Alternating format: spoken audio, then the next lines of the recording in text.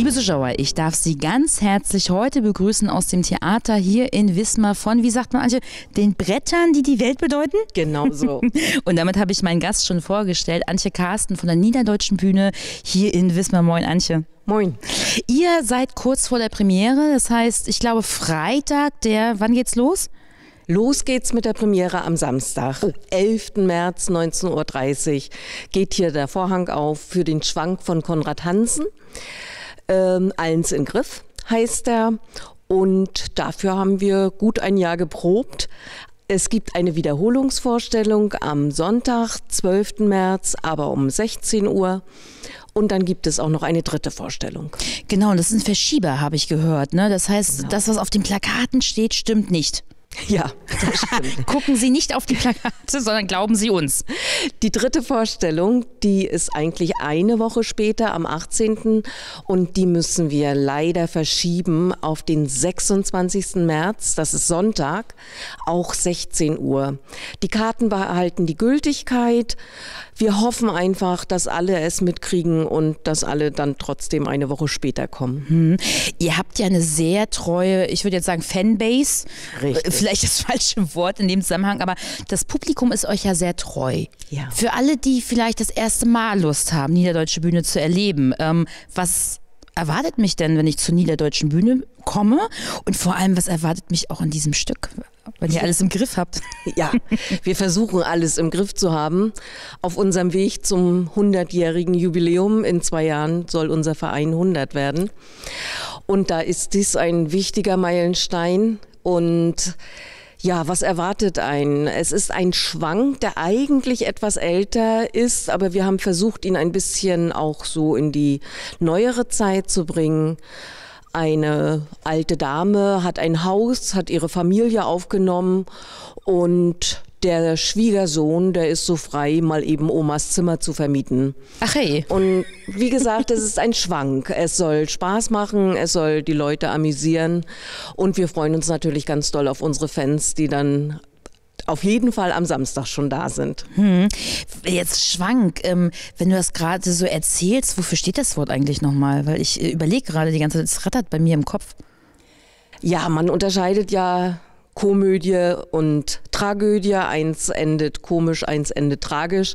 Und äh, beim Schwank, da wird es einfach noch etwas übertrieben. Also es ist eine Komödie. Es geht also gut aus, aber naja, es ist so wie man das im Plattdeutschen eigentlich mag, mhm. dass man sich auch mal auf die Schenkel klopfen kann. Und das ist ja eigentlich das nächste schöne Stichwort, weil ähm, wenn ich jetzt hierher komme, erwartet mich ja eine besondere Sprache bei der Niederdeutschen Bühne. Ja. Das ist wohl so. Das ist wohl so. Erzähl mir mal was auf Platt. Vielleicht aus dem Stück, vom Leben. Ich möchte einfach mal ein bisschen zuhören, das mal ein bisschen kurz genießen, wenn du mal snackst. Tja, das ist Oma Lemke. Oma Lemke erst du, wo wir hier sitzen. Und die waren hier eigentlich allein, hat er Familie aufgenommen. Und ja, das bringt man nicht viel würde ich sagen. Ich muss dazu gestehen, meine Großmutter hat auch mal viel platt gesnackt. Ähm, ich kann es überhaupt nicht. Aber ich verstehe dich. Das beruhigt mich ja immer. Das heißt, ich könnte mich jetzt hier auch reinsetzen am Samstag und euch ein bisschen zuschauen. Ähm, letzte Frage, du hast gesagt, ihr werdet tatsächlich, werdet ihr tatsächlich 100 in zwei ja. Jahren? Niederdeutsche Bühne wurde genau. 1925 gegründet. Mit welcher Intention?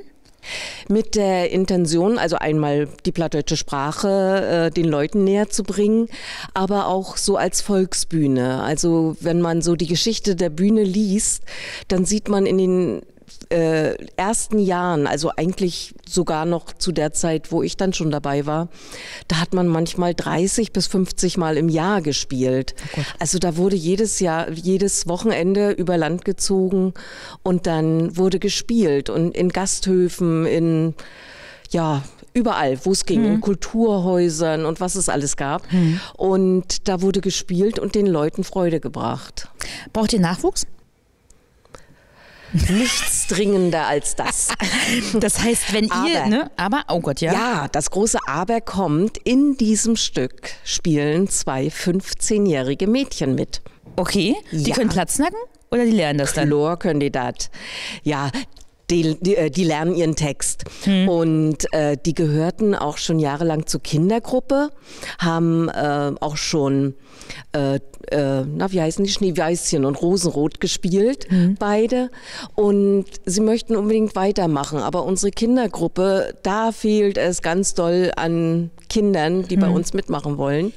Und die beiden haben wir jetzt einfach mit übernommen in die Erwachsenengruppe und die spielen mit. Und wenn ich jetzt äh, Kinder kenne, die mitmachen wollen und die anmelden möchte, wo mache ich das? Wir haben eine Homepage. Blenden wir jetzt ein, einfach mal ganz unkompliziert, würde ich sagen. Ja, da Ne? kann man sich auf jeden Fall melden. Hm. Und dann melden wir uns zurück und Ganz einfach. nehmen jeden auf. Wir haben auch hier in diesem Stück wieder äh, zwei neue Technikleute und wir sind immer froh für jeden, der kommt. Ich sag auf jeden Fall allerherzlichsten Dank. Und was sagt man beim Theater immer? Toi, toi, toi. Tschüss, mach's gut und wir sehen uns am Wochenende. Tschüss.